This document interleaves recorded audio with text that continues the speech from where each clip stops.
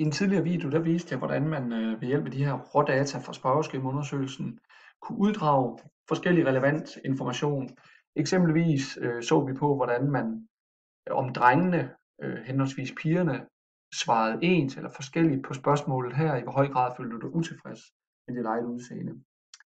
En senere statistisk analyse af de tal viste så, at der faktisk var en, en, en relativt stor forskel på deres svar, i det pigerne i i langt højere grad var viste sig at være utilfreds med egen udseende, end drengene var. En tilsvarende, men måske endda endnu mere interessant undersøgelse kunne være at kigge på, hvis vi betragter det samme spørgsmål her, altså utilfredshed med eget udseende. Hvordan svarer henholdsvis det, man kunne kalde højforbrugere af Instagram, eller lavforbrugere af Instagram på det spørgsmål. Altså med andre ord, dem der ikke bruger Instagram, eller bruger det forholdsvis lidt, svarer de anderledes på det her med eget udseende, end dem, der bruger Instagram forholdsvis meget. Det, det kunne være rigtig interessant at undersøge øh, det her ud fra alle de her rådata. Og jeg vil nu her prøve at vise, hvordan man kan, hvordan man kan uddrage den relevante information til at, til at kan gå videre med det spørgsmål her. Igen, så er det ved hjælp af det her pivot-tabel. Så øh, man står et sted i regnarket, går under indsæt og vælger pivottabel. I den pop-up boks, der svarer man bare OK, hvorved den opretter en pivottabel over i en ny fane. Det vi nu vil kigge på her, det vi skal hive ned, det er, at vi vil godt kigge på igen den her med utilfredshed med eget udseende. Hvis den kommer ned i rækker, således at vi får øh, observationskategorierne nedad i rækker her. Og det vi så skal have ud af, i kolonnerne her, det er så gennemsnitlig tidsforbrug på Instagram. Fordi det er nu er den, vi godt vil. Den vælger vi i kolonner, hvilket gør den, gør den ret bred. Ja, Og så skal vi selvfølgelig have talt op, og som altid kan man, man kan altid bare vælge den øverste ned i værdier, så kan man gå ind og tælle op inden. Lige nu, så får vi en ret bred pivottabel, fordi kolonnerne er relativt brede her. Men man får simpelthen, hvor mange af dem, som bruger Instagram mellem 0 og 30 minutter dagligt, har svaret 0, og hvor mange af dem har svaret 1 og så videre. Her der var 55 af dem, som har svaret 0 og så videre og så videre. Tilsvarende, det kommer, skal det siges, i en lidt dum rækkefølge her i Excel. Lige nu er det den efterfølgende kolonne, det er så dem fra 120 til 150 minutter, 2 til 2,5 time. Øhm, hvor mange af dem har svaret 0, 1, 2, 3 videre og så videre. Og her 150 til 180, hvor mange af dem har svaret. Når der ikke står noget, så står der et 0. Der er simpelthen ingen af dem, som bruger Instagram mellem 150 og 180 minutter dagligt, som har svaret 3. Ej heller er der nogen af dem, som har svaret 7. Øh, der var 14 i øvrigt i den kategori. Og sådan fortsætter det lidt ud af, fordi at alle kategorierne er med. Og herude har vi alle totalerne. Alle dem, der har svaret 0, 1, 2, 3, 4 og så videre men nu splittet ud efter tidsforbrug på Instagram, og vi kan se, at vi har alle 976 med. Godt. Nu kommer vi så til noget, et valg, man skal træffe. Altså statistik er ikke så, så kan man sige sort-hvidt altid. Så der er alle mulige valg, der skal træffes.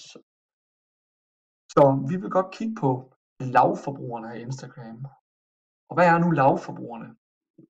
Ja, hvordan skal man definere det? Altså man kan ikke sætte et tidsforbrug for. Men man kan i hvert fald sige, at dem, der slet ikke bruger Instagram, de er da i hvert fald lavforbrugere. Øh, og så kunne man se på nogen, som brugte det relativt lidt, altså for eksempel 0-30 minutter. Lad os lige prøve op under den her pil under kolonnenavnet. Hvis man klikker på den, så kan man se hernede, så er der markeret alt. Altså vi har alle de her tidskategorier med. Hvis man lige prøver at afmarkere dem alle sammen, så har vi slet ikke nogen af dem med. Og de kommer igen i en lidt dum rækkefølge her. Men man kan sige, dem der ikke bruger Instagram, hvis vi tager dem, hvor mange af det overhovedet trykker OK, så får vi kun vist svarene for dem, som ikke bruger Instagram. Det er allerede 114, hvilket faktisk er sådan et pænt stort antal. Og man kan godt sige, i lavforbrug af Instagram, så kunne man godt tænke sig at have nogen med, som faktisk trods alt har programmet installeret. Øh, eller appen.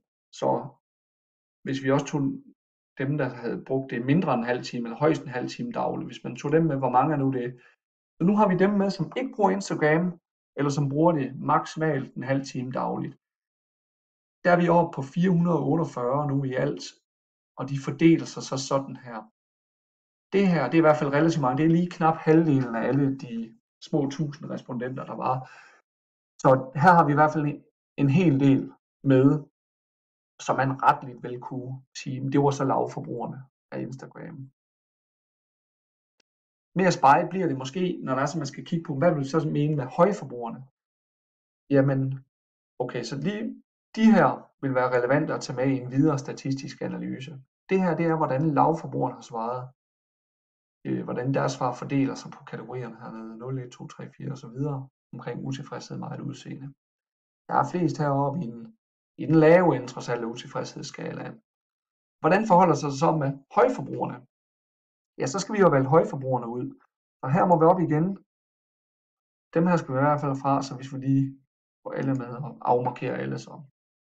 Ja, det man kunne gøre, det var at sige, at vi kan tage alle dem, der i hvert fald bruger det allermest. Og der var jo en, der hed faktisk mere end 300 minutter, altså mere end 5 timer dagligt. Hvis vi bare lige tog dem, så ser vi, hvordan de har svaret. Men det der er, det er, at det er kun syv personer. Der var kun syv ud af de små tusind. Så det er simpelthen, det kan være interessant nok, men bare ikke særlig statistisk interessant. Så vi er nødt til at have flere respondenter med. Så vi kan ikke sige, at højforbrugerne, at det kun er dem, som bruger det mere end 5 timer. Vi er nødt til at have nogle flere med. Og sådan kunne man så prøve at tage, hvad er så de næste? Øhm, der var en, der hed 270 til 300 minutter. Hvis vi tager dem med, vi skal nok også have dem. Hvis vi nu lige prøver at tage herned til og 3,5 timer op efter. Det er i hvert fald meget tid, men hvor mange mennesker drejer sig om? Bladet ud til højre. Så jeg ser så op på 22 i alt nu. Det er stadigvæk relativt få. Og der må man så på et tidspunkt sige, hvor mange skal jeg så have med, før jeg kan sige, at nu har jeg alligevel en hel del. Øh, det er valg. Min anbefaling er, at man i hvert fald skal op over, øh, lad os sige, i hvert fald 100, men jeg, et, et valg kunne være, at man gerne vil over cirka 150 respondenter, før man siger, at man er tilfreds. 150 respondenter, det, det er rundt regnet 15% af de deltagende. Så man vil godt op og have en, en vis andel øh, af respondenterne, før man sådan rigtig kan udtale sig. Så må man simpelthen lige tage nogle flere med, og, og igen, man skal lige kigge så godt for, fordi kategorien er let. Hvis jeg tager ned til 150 minutter, så er jeg over på 5, jeg har vist glemt nogen her i. Så må man lige prøve øhm, og se om man kan få alle med. Så hvis man også tager fra to timer, er det så nok? Altså der må man simpelthen prøve at gå længere og længere tid, fordi det er ikke et aften. Man kan ikke sige, at over to timer, det er, det er et højt forbrug. Altså, vi vil have den andel med det højeste forbrug. Det her det er så 96, så jeg synes ikke helt, det er nok. Det, det er et valg, det kan man diskutere, om man synes, at det her det er okay. Det kunne man måske godt. Jeg prøver lige at tage den næste her, det er så fra halvanden til to timer ser hvor mange det så gav ekstra. Så det gav en hel del ekstra, der var, der var relativt mange i den. Så nu er jeg oppe på 183. Man, det her det er et valg, man kan diskutere, om det var, om, om det var nødvendigt at tage det sidste med, eller man synes, det var nok med de, med de kan man sige, 96 med det højeste forbrug, eller man vil have de 183 med det højeste forbrug. Lige nu har jeg valgt de 183 med det højeste forbrug, og det er så, så rent faktisk dem, som bruger Instagram fra halvanden time og op efter dagligt. Dem vil jeg nu kalde højforbrugere. Og de fordeler sig så sådan her.